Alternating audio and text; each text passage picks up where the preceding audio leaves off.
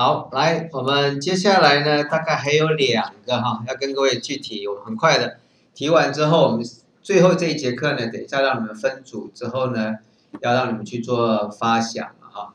好，来，接下来我们看这个所谓的 face comparison，就是人脸的比对啊。我想这个人脸比对，现在所谓的智慧城市里面常常有在用到哈。那中国大陆。用的更多啊？为什么呢？因为人口这么多啊，可以去做人脸的比对。来，一样，各位想现在的服务都很方便了哈。现在把刚才周子瑜的传上来，这边当然是没有一样的哈。那我又去这个 Twice 这个团体呢，也找了他们最近的照片。好，可以来看一道这个 Face Comparison。这个的相似度呢是百分之九十九点五我想说就是第一堂课跟各位去讲的这个人脸的特征值啊，电脑是可以分析出来的。这两个不一样，这两个又不一样。其实怎么分辨出来的？当然了，如果说资工系资管同学有有在做 deep learning 的时候呢，可以用影像的识别这些啊，都可以也是可以做得到的。啊，各位看看到这个 twice 里面几个几个团员呢？九位的团员啊。那这个相似度是对的。好，那很快老师再把另外一个再把它讲完哈。再来就是 text in in 呃 text in image，在照片里面的这个文字也是可以截取出来的。但是以 AWS 来讲，目前它只能也截取是英文的啊，中文的目前是没有办法，因为它还是呃美国的企业了。那当然中文最好的，当然除了我们台湾的团队以外，当然还有。大陆的团队哈，这些做的都不错。这个是在照片里面的文字，你可以把它截取出来。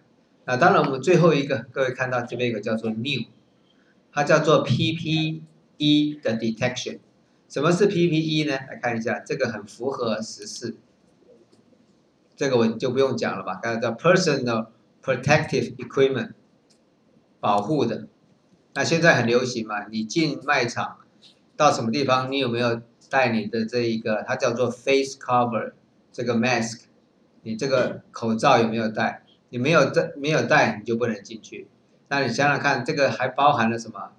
手套，这一个 head cover，也就是这个安全帽啊，这些你看 AWS 新的功能啊，所以说为什么我们要借力使力的原因就是在这里。你这个要自行去开发。旷日费时，对不对？好，那也一样，大家可以看到有没有？它是这边，你直接可以去找勾，我我就是要看哪一个，好，那一样，啊，他会跟你讲他有有没有符合这边 true，对不对？啊，那一样可以看到它的 response 就可以传到你的，而且它左边的手我，右边的手都可以，好，各位可以知道，好。好了，接下来我们大概要看一下它的 pricing 哈。当然你会知道了，所以这样子我要去用的话会花多少钱啊？来看一下它的三种情况哈，image，那 video 我现在就哦对，等一下还有一个 video，待会也跟各位去讲哈。image 的定价你可以来看到它是怎么算呢？呃，当然了，各位如果说你目前现在它有 free 的软体啊，就可以让你为期用一年了哈。呃，看它的定价表，你看到没有？它是每个月可以处理一百万个影像，每个影像是多少呢？大概他跟你讲，大概一千个影像的价格是一块钱美金，便不便宜？便不便宜？说便宜也便宜，说不便宜也不便宜。为什么？当你量大的时候，相对，可是相对你有一千个客户的时候，你有一千，你有一万个客户的时候，相对于你的 app 是不是会更好？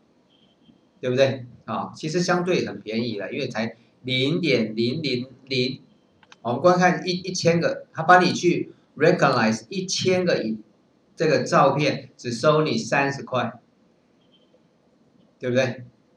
啊，你你你三十，你一千个影像，你你可以做多少的事情？可以服务你多少的客户，对不对？啊，才三十块钱。好，那所以说呢，这边各位可以知道，现在像这样子的一个应用了哈，像比如说，你看你你的川流不息的人，你是不是可以去做？啊，你没有戴口罩，就警报亮起来，你不可以进去，对不对？啊，好，那这个是目前来讲，AWS 在 Face Recognition 里面啊，这个 Recognition 里面的一些的应用。那最后一个场景就是 video 了啊，那什么是 video 呢？video 就是我们连续性的照片啊，那这个是，呃，你们也可以把你们的照这个影片传上去，但是因为它在 web 上面这些传上去的时候，好像呃不可以超过一分钟吧，啊，不可以超过一分钟，所以说你们就自己去找找看，你们自己拍的一些视频啊传上去也可以。那那你说老师超过一分钟的怎么办？它就是借借接它的 API 哈 SDK 啊，你只可以传超过一分钟以上的照片可以传上去。好，一样这边你可以看到它这个影像分析完了之后哈，它会跟你讲它有很多的状况，其实也讲穿了，它就是一一张一张的可以去帮你做分析。好，有两个人物，然后做了什么呃 celebrity 就是刚才的。名人这两个都是他们 A 呃 AWS 的呃大头目了哈，然后物件有哪些的物件啊？这个椅子啊，furniture 啊，对不对？好，audience 啊，这些都是他的。